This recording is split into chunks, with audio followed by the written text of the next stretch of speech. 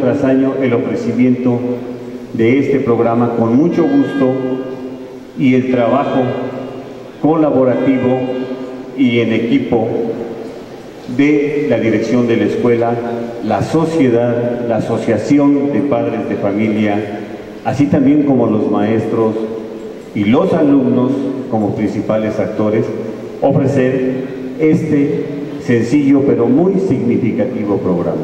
El esfuerzo va dedicado para todas ustedes. Y como dice una frase, la bendición de Dios es hecha a través de una mujer para todos nosotros que habitamos en la tierra. Muchas felicidades y fuerte el aplauso para ustedes, para todas ustedes. La labor que hace mamá en casa y aunque pudiera ser un texto, un diálogo metafórico, en muchos hogares de nuestro país, de nuestro estado, de nuestro municipio de Zacapuastla y de nuestra escuela secundaria 5 de mayo, en muchos hogares hay madres de familia que todos los días se arrancan el brazo para que sus hijos coman. No lo hacen físicamente, pero si, si debieran hacerlo, estoy seguro que lo harían, ¿verdad? Pero se tienen que arrancar el brazo porque a quién de nosotros, a quién de ustedes les gusta dejar a su hijo recién nacido para tener que irse a trabajar. ¿A quién de ustedes les gusta pues dejar a su familia para ir a buscar el sustento? A nadie de nosotros, ¿verdad? Sin embargo, las circunstancias de la vida, el contexto económico de nuestro país han tenido, han obligado a la mujer a salir de casa para ir a contribuir al gasto familiar, a que el nivel de vida de los hijos sea mejor, a que tengan lo que en su momento a lo mejor nosotros no tuvimos. El día de hoy pues yo les quiero invitar jóvenes alumnos que están por allá con su celular a que valoren lo que tienen en su casa. Decirles jóvenes señoritas que así como a nosotros la vida nos ha enseñado, la gente, la familia no es para siempre. Un día lo van a buscar, las van a buscar y ya no las van a tener como algunos de ustedes que hoy ya no tenemos a mamá, ¿verdad? Valoren, por favor. Ayúdenos. El futuro de su familia está en sus hijos. El futuro de su municipio de Zacapuastla está en sus hijos, señoras y señores, madres de familia.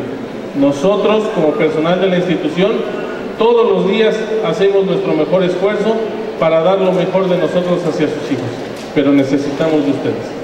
Las felicito, las abrazo desde aquí, eh, esperemos que les guste lo que la Sociedad de Padres de Familia tiene preparado con ustedes y las invito también a que disfruten al máximo este día, que es su día, y a ver si el Día del Padre también algo nos pueden organizar a nosotros, porque hasta para el sábado lo pasaron, creo, ¿verdad? saludo también para la mamá de Paqui que ya se perdió y, el niño está por acá todavía.